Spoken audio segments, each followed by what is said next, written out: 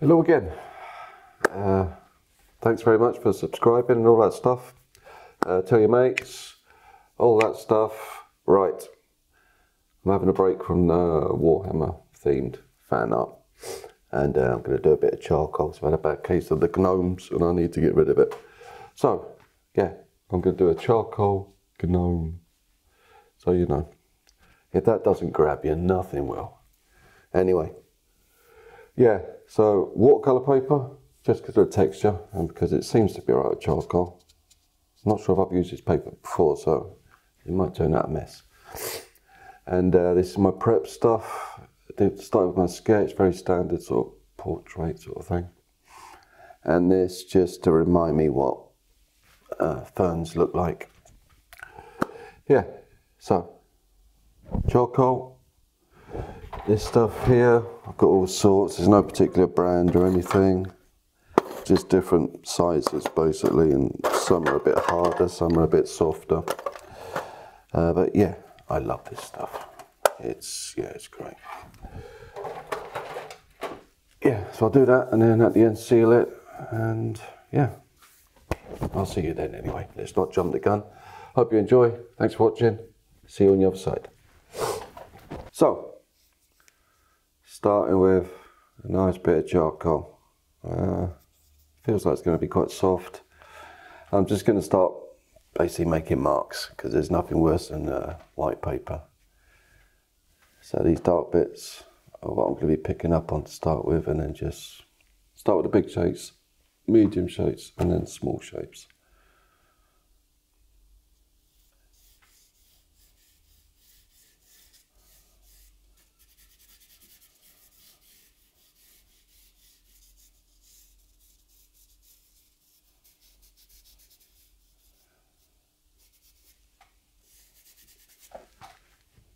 Trick is not to be too fussy to start with.